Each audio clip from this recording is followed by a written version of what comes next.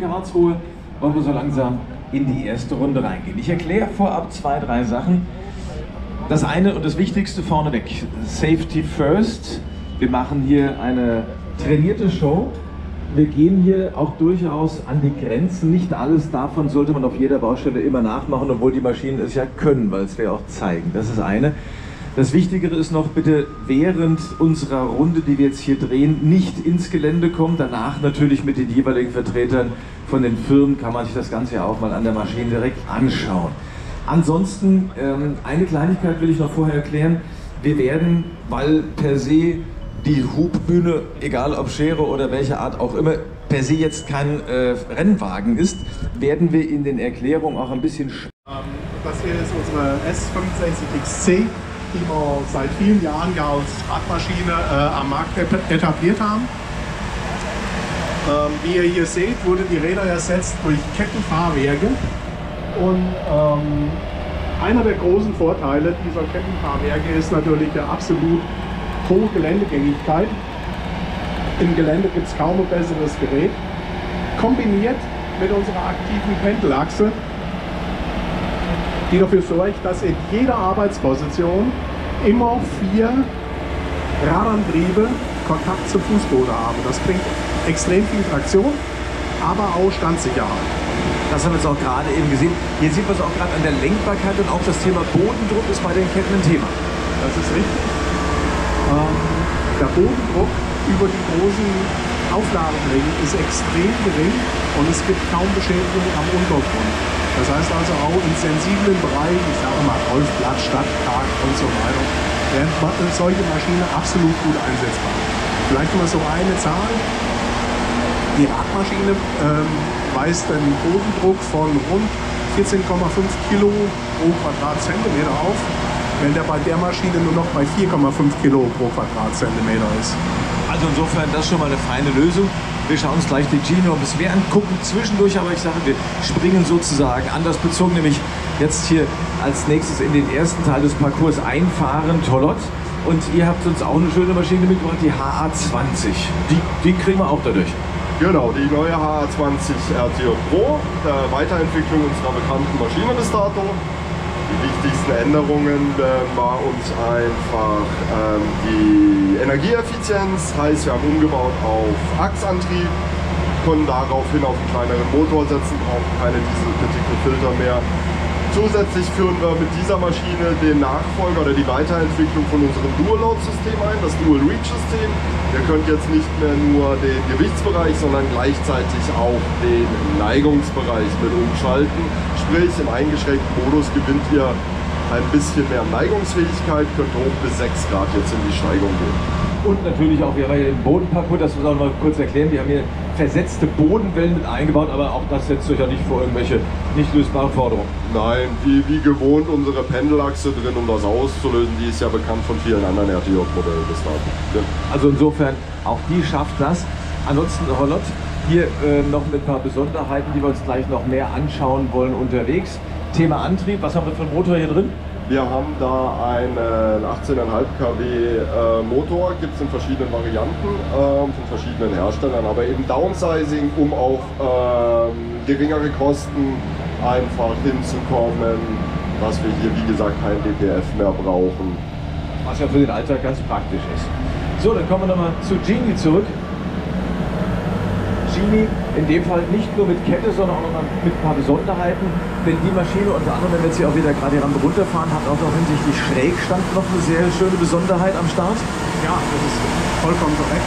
Ähm, Baureihe äh, Lage, Schrägstand bis 7 Grad ähm, äh, zu tolerieren, natürlich mit ein bisschen Einschränkung in der seitlichen Reichweite und Hubgewicht.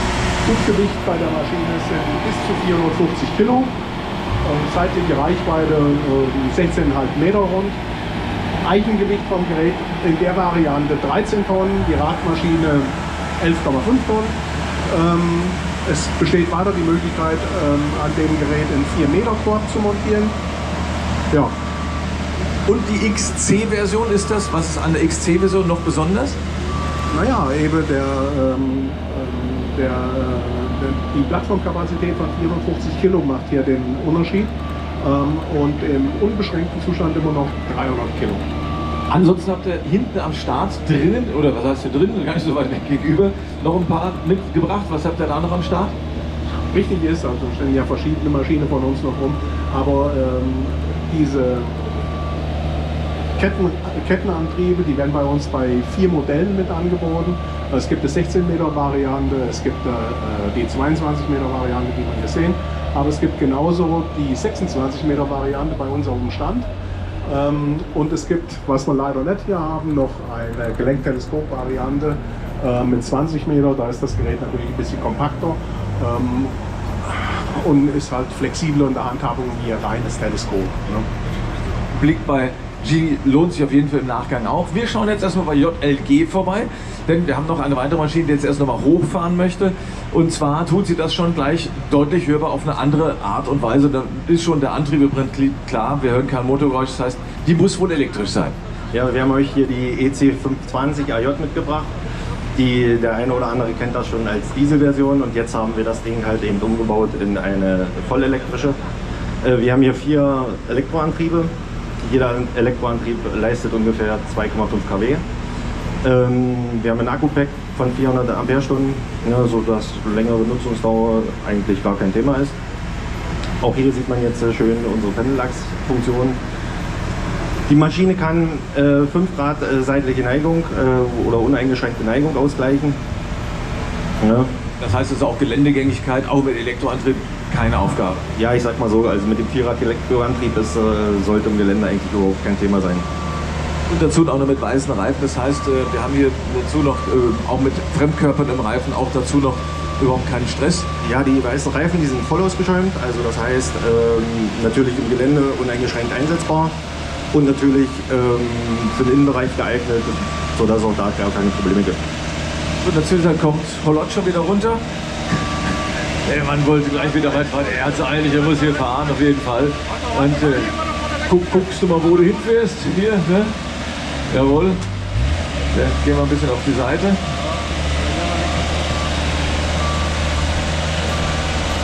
So, das führt uns zu dem Thema, was Rolott noch mitbringt. Was macht die Maschine noch besonderer besonders? Übersehen kann sie auch den Hang Seite runterfahren. Nein, Schatz beiseite. Äh, was wir an der Maschine jetzt noch mit drin haben, das ist jetzt keine reine Option für dieses Modell. Das ist diese silberne Flasche, die man sieht, an der er sich eingehängt hat. Das ist ähm, unser Fastensystem, vergleichbar wie ein Gurtwarner im Auto, das einfach nur rückmeldet, dass du angeschlagen bist wenn irgendwas passiert oder nicht angeschlagen wird, würde ein Alarm ausgelöst werden. Das geht nur bei der Maschine oder habt ihr das auch bei anderen noch optional sozusagen oben drauf? Das lässt sich grundsätzlich bei jeder Holot-Maschine einbauen, lässt sich aber auch bei allen Fremdfabrikaten im Grundsatz einbauen, wenn die Fremdfabrikathersteller damit einverstanden sind. Okay, ansonsten, was habt ihr noch bei euch am Stand mitgebracht? Wir haben an unserem Stand noch unsere neue 16 Meter äh, Hybridmaschine, die HA16E.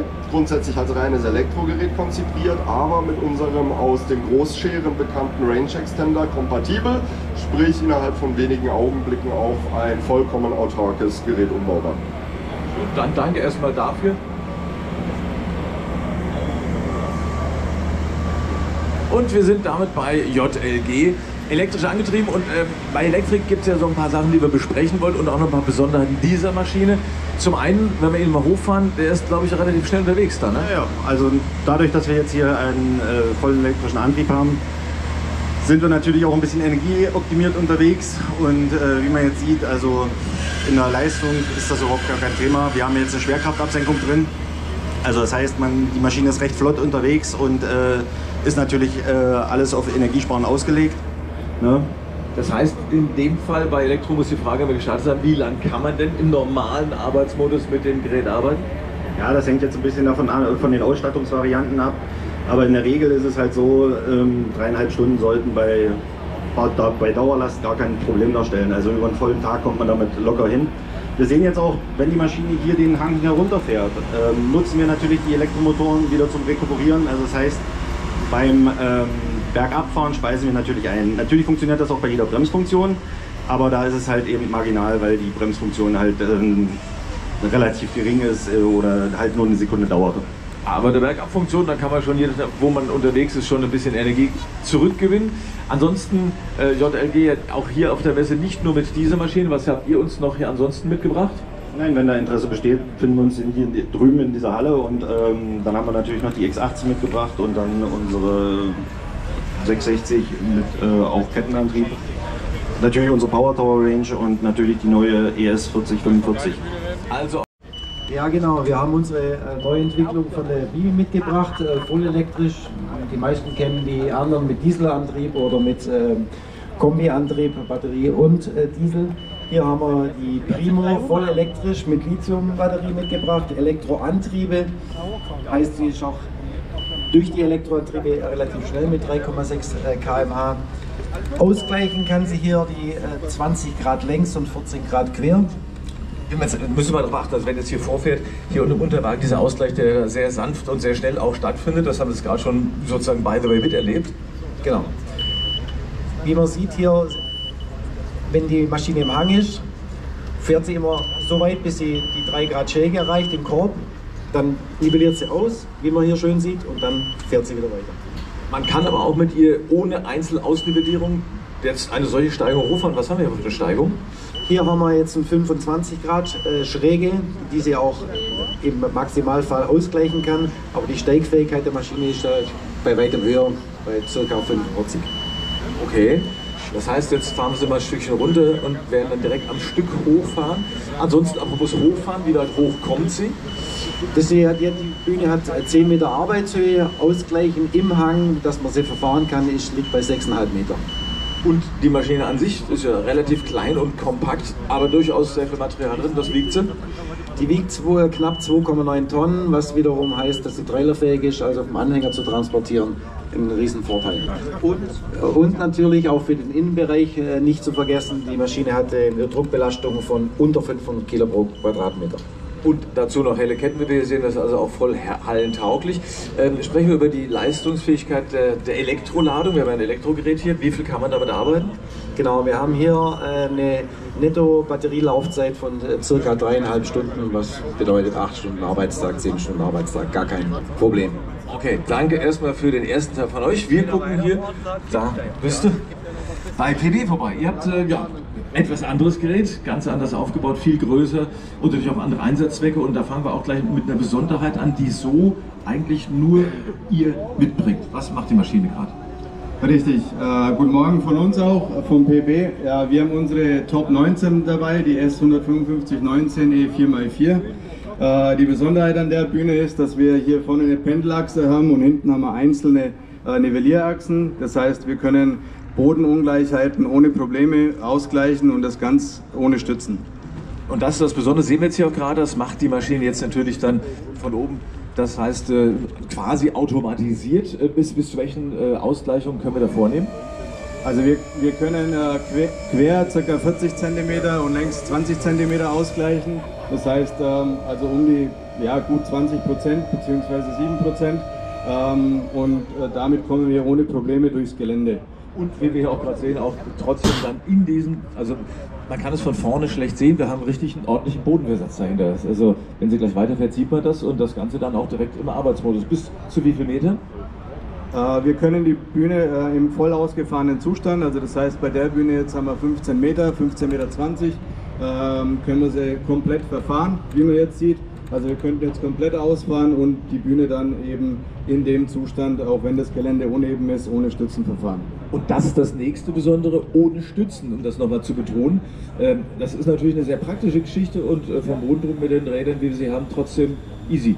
Richtig, also es ist eine ähm, enorme Zeitersparnis, äh, wie man sich denken kann, äh, wenn man jetzt, äh, äh, ich sage jetzt mal die Handwerker nimmt, der sagt, ein Fensterbauer, der muss jetzt da zwei Meter weiter vorfahren, der muss dann nicht nochmal extra runterfahren, die Stützen wieder einfahren, zwei Meter vorfahren, Stützen runter und wieder hoch, sondern der fährt in voller Höhe einfach die zwei Meter weiter und äh, kann seine Fenster putzen. Ähm, was natürlich noch eine Besonderheit ist, ist, dass das Ganze ähm, wir haben hier einen el- elektrohydraulischen Motor, das heißt, wir haben nicht markierende Reifen, können die Bühne sowohl innen als auch außen nutzen. Das heißt eigentlich für den Vermieter, wenn er so eine Maschine hätte, die eierlegende Wollmilchsäure, der kann ja quasi alles machen. Richtig, ja, der kann hat viele Einsatzzwecke, die, die Bühne. Ähm, vor allem haben wir hier das Megadeck ähm, mit einem elektrohydraulischen Plattformausschub auf 2,25 Meter ähm, auf einer Seite. Das heißt, wir kommen auch ähm, super über äh, gewisse Dinge drüber ähm, und können dadurch eben ähm, auch noch einiges bedienen. Ne? Das ist schon mal auf jeden Fall ein Blick wert. Der nächste Blick wert hier oben bei Bibi ist auch schön, denn ihr habt euch jetzt ja oben platziert. Jetzt können wir erstmal wieder runter und äh, können dabei noch ein bisschen mehr mitnehmen von dem, was die Maschine ansonsten noch bietet. Für welche Einsatzzwecke ist eure Maschine gedacht? Die Maschine ist äh, sowohl für Außeneinsätze tauglich, natürlich für Inneneinsätze, wenn es ums Gewicht geht und so weiter. Wie man hier jetzt ganz schön wieder sieht, dass die Maschine in Transportstellung äh, die automatische Nivellierung schön sanft immer mitnimmt. Das heißt, wenn man im Gelände fährt, merkt man eigentlich fast nicht, dass die Maschine überhaupt nivelliert, bevor ohne so eine Steigung mitnimmt. Die Besonderheit ist auch oben drauf, denn das sehen wir jetzt hier gerade sehr schön im ausgefahrenen Zustand, denn selbst eure Plattform ist so ein bisschen anders als andere. Genau, wir haben hier einen Plattformausschuss von 1,12 Meter, der aber auch äh, mit dem 300 Kilo von der ganzen Bühne belastbar ist. Das heißt, wir können viel Werkzeug auch mitnehmen und die, die Leute haben da auch Platz drauf zu arbeiten. Der Moment jetzt hier ist auch ganz interessant, da unten gerade mal kurz beschreiben, was wir jetzt hier sehen. Genau, wir sehen hier, dass es auch äh, im Versatz möglich ist. Also wie gesagt, sie nimmt ja auch in beide Richtungen quer und längs äh, diese, diese Schrägen auf. Und auch jetzt, wenn wir äh, auf, auf ja, verschiedene Ebenen sind vom Boden, ist das für die Maschine kein Problem und macht es, nimmt es auf. Macht alles mit, äh, nimmt alles mit, in dem Sinne, wir haben es ja gerade schon gehört, es ist relativ leicht. Ist es die einzige Version oder habt ihr noch mehrere andere in petto? Ja, wir haben äh, die anderen Versionen mit einem reinen Dieselmotor oder auch mit einem Kombiantrieb, Batterie und äh, Dieselantrieb und für den Innenbereich natürlich auch mit, mit, mit kabelgebundenem Strom äh, zu fahren. Das heißt, bei euch am Stand habt ihr da wahrscheinlich noch die eine oder andere Version dann auch mit dabei. Wir haben äh, natürlich unsere anderen äh, Hersteller mit dabei am Start, äh, wie Aichi, äh, Omelift, Almax sowieso, Aero. Das muss man auch ganz kurz erklären, weil er ist ja von Sahara Lift und hier haben wir ja im Prinzip eine Bibi. Ähm, das heißt, äh, der Service von der wird aber auch bei euch erledigt oder wie muss man sich das vorstellen? Genau, wir haben in Deutschland drei Standorte mit äh, Langenhagen, äh, mit der Zentrale in Fulda und in Gingen an der Brenz und machen dort auch Service. Also braucht man keine Angst haben, wenn man eine italienische Maschine hat, dass der dann nach Italien zum Service muss. Das macht ihr akkurat mit. Dankeschön, Saallift. Und damit gehen wir rüber noch ein Stückchen weiter zu auch einer sehr speziell besonderen Maschine. Aber vorher wollen wir uns nochmal die PB angucken. Das heißt, für welche Art von Arbeit ist das alles von besonderem Nutzen? Ja, also die Bühne kann auch, sowohl auf Baustellen eingesetzt werden, ne, wenn man ja unebenes Gelände hat, aber eben genauso, ähm, wenn jetzt neue Gebäude gebaut werden und alles drumherum, man kann die Bühne dann eben auch innen danach nutzen, weil sie eben ähm, auch innen genutzt werden kann, weil sie voll elektrisch ist und ähm, deswegen hat sie im Endeffekt eigentlich keine Einschränkungen, was die Einsatzfähigkeit angeht. Aus innen, was ist bei euch innen noch zu erleben? Ähm, ja, wir haben am Stand bei uns bei PB noch einiges an ähm, großen Scheren, also Hochregalscheren zum Beispiel, eine 22,5 Meter äh, schmale mit einem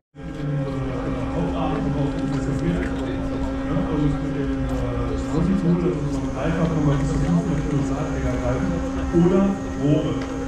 Wenn das Rad nicht mehr ran, dann ich auch Rohre Das macht ihr schon mal sehr, sehr gut einsetzbar. Das schauen wir uns jetzt hier gleich noch an. Aber gucken erstmal hier von der Reichweite. Was auch noch eine Besonderheit hier ist, ist, dass diese Maschine so kompakt sie ist, im Prinzip alles an Zubehör auch gleichzeitig mit dabei. Das fand ich auch ganz nice. Ja, wir haben einen hydraulischen Schrittband, mit dem wir dann letztendlich noch 17 Meter Arbeit zukommen. Ähm, wir haben so eine Schwerterspitze dran, wir haben alles, was, was man braucht, mit der Hakenflasche, alles dran integriert. Wenn ich mal angucke, daher ist das im Prinzip alles integriert, hinten und an der Seite, sondern man gerne auch mal